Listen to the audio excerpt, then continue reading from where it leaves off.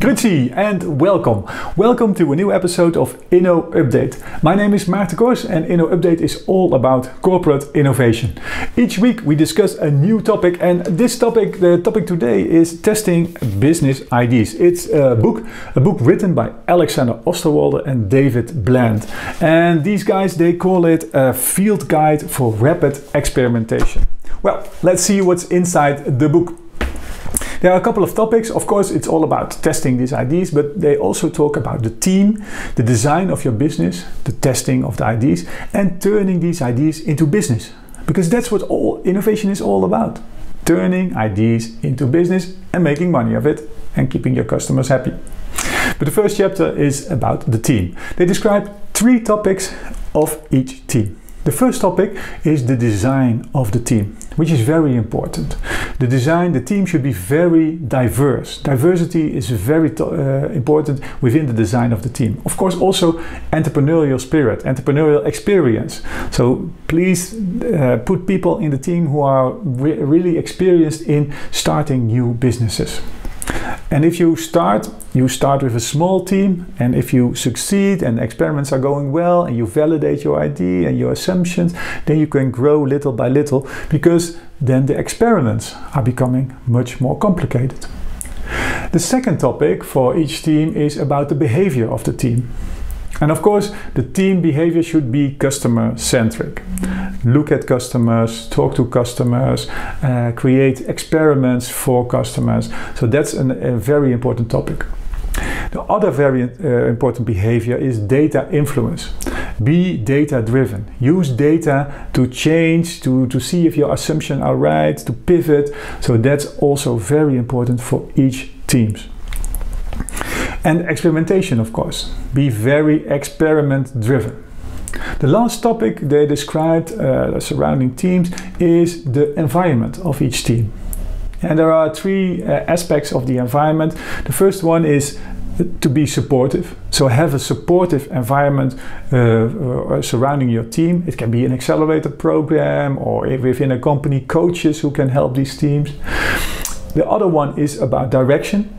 What is the direction of the team? What is the why, the purpose of your team?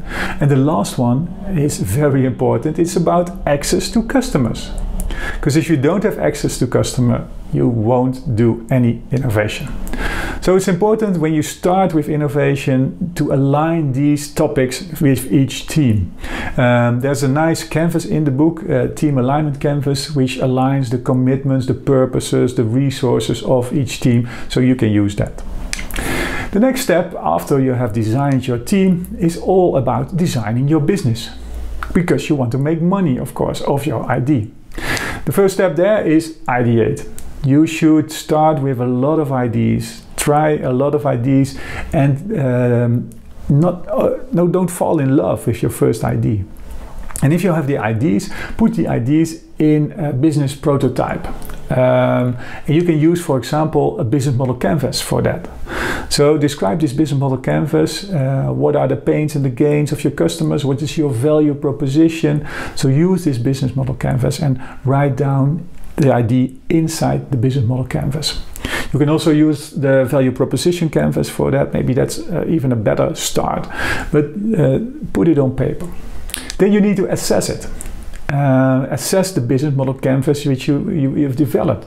Is this really the way to address the pains or the gains of the customer? Is this really the way to monetize your, uh, your ID? So you have designed your team, you have designed the first business model, now it's time to test it to test the assumptions you have written down in your business model because that's what you are doing. And you can test it in three different areas.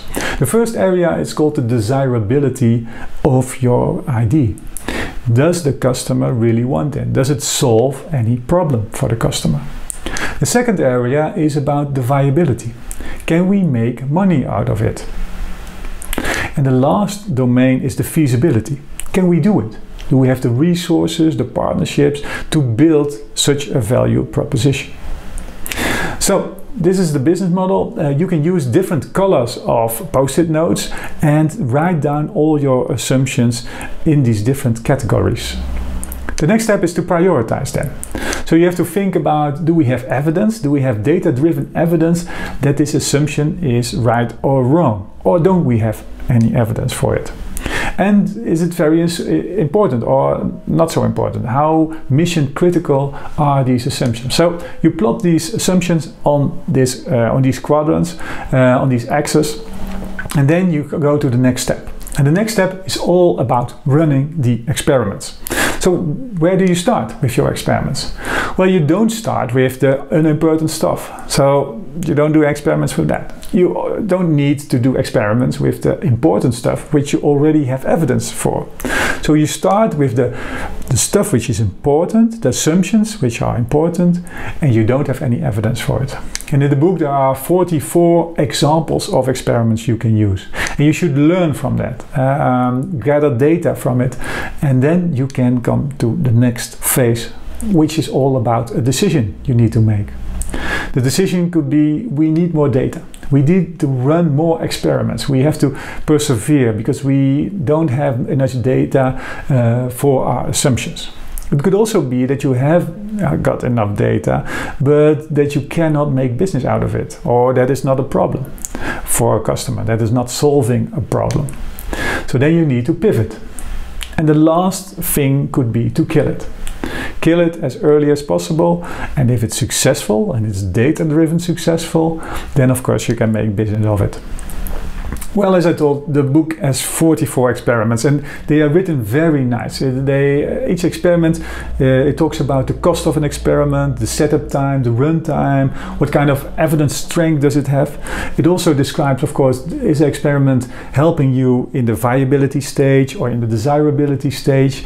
It talks also about what do you need for these experiments, what kind of capabilities do you need, what for requirements do you need, and how do you prepare for an experiment execute and analyze the results of an experiment. So this is really great, a really field guide for these experiments. So my thoughts of the book, uh, I think it's a great book. It has some theory, but most of all, it actually is a field guide for all the teams who are doing innovation. It's uh, very practical, very down to earth, a lot of canvases, a lot of tips and tricks. Uh, especially like also at the end of the book, they talk about the pitfalls, um, the pitfalls for innovation teams. And uh, yeah, it's truly really good to, to read about it. Uh, I have encountered many of these pitfalls in team I, teams I have coached and uh, where I've been a part of. Um, so yeah, uh, I would really recommend this book. If you want to learn uh, more, then uh, check out the show notes where I will put down a link where you can order uh, the book and uh, also check out other videos of, Inno Update. So I hope to see you back next week with a new episode of Inno Update and in the meantime, keep innovating.